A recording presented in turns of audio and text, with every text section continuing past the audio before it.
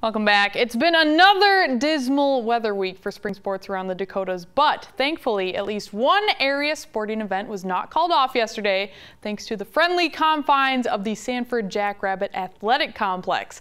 For more on that, here's Alex Heinert. Thanks, Kelly. Well, where would we be without indoor athletic facilities, right? Every other early season meet might be on hold for now, but the unseasonably low temperatures did not stop the Scott Underwood invite from going off without a hitch yesterday in Brookings. A good field of 20 plus A and B schools made the trip, and the competition was strong throughout, starting in the sprints. Great battle between two top three 100 meter state placers from a year ago with Chester area's Riley Greenoff getting the better of Sioux Falls Christian's Parker Nelson by eight one hundredths of a seconds. Greenoff's also the defending state B 200 meter champ. He would win that race later in the day to complete the sprint sweep. Speaking of doubles, Chamberlain's Ella Byers would also pick up two wins on the day. The former state cross country champ would take the 800 and the mile on Monday. She's one of a handful of really talented distance kids in Class A this year that are all back in the fold. Midco SN favorites Ipswich made the trip south for this meet, and the Tigers would get a win from senior pole vaulter Wyatt Hawks. Wyatt finished seventh at the state Bees a year ago with an 11.9 clearance, but he would go over 12 feet 6 inches yesterday for the title. That's a big time PR for this early in the season. Elsewhere in the field, all eyes were on the boys' shot put, where three-time Iowa State throws champ Nick Phelps was doing work. The Kingsley Pierson Woodbury Central senior would launch this throw. Ready? 66 feet and one quarter of an inch. That's a new PR for one of the top throwers in the Hawkeye State's prep history. They've been a lot more consistent than last year. Um, last year, I was my average was like 62, and this year my average is like 64, 65. Yeah, I'm much more consistent though. Yeah, I'm not really going for a specific number. I just want to prove to people that a guy like me that isn't the biggest can be the best.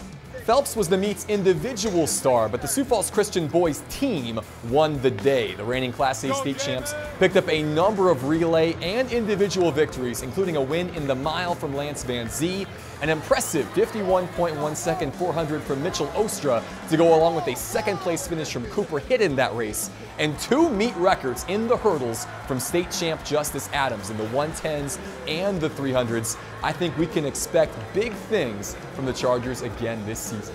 Our goal has always been that we want to maximize the gifts that God has given us. And, uh, you know, it sounds kind of cheesy just to do your best, but honestly, we feel like uh, we have a group of kids who have a lot of God given talent. They got a great work ethic, and if they're willing to maximize that, we think the results will take care of themselves. SFC's dominance is fun, but the best story for Monday's meet was the return of Ipswich pole vaulter Taylor Maurer. The 2016 state beat champ suffered a life-threatening head injury in practice prior to last year's state meet, but incredibly she has made a full recovery and is back vaulting again at a high level, even winning an indoor meet in Aberdeen last week.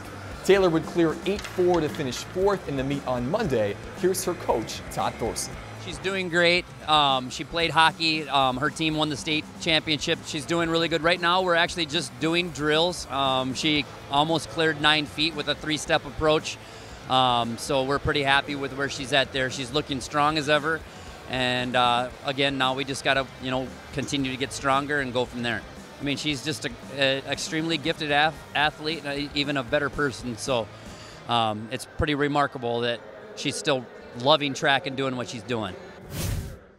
Well, it's great to see her back on the runway for sure. Our Midco Mag crew will have more on Taylor and her story in the weeks ahead.